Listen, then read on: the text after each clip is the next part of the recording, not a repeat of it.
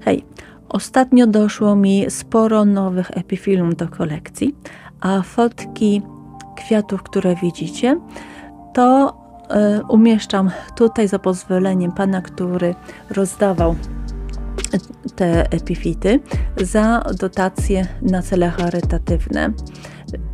Zbiory są po jego ojcu, który hodował te rośliny od czasu, kiedy był nastolatkiem i ogólna, ogólnie kolekcja liczyła ponad 400 różnych epifitów, w tym też Schlumbergery, czyli grudniki, ale to, to rodzina sobie zachowała, e, tak samo jak niektóre i epifilum dla siebie. A tutaj pokazuję Wam, jaką jak dokumentował e, ten pan, czyli jak widzicie numerki przydzielone danej roślinie i zapisane na doniczkach e, i w zeszycie miał zapisany numerek i odpowiadającą nazwę. No, tradycyjnie etykietki z nazwami, a także nazwa zapisana flamastrem na roślinie.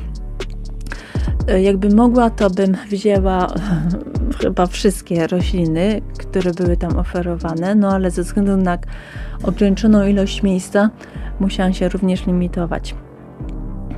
A jak widzicie, no naprawdę miał ciekawy zbiór różnych e, odmian.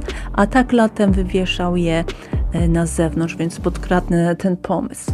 Więc jak już przyjechałam do domu, no to popcinałam te e, niektóre pędy, z których by już nic nie było.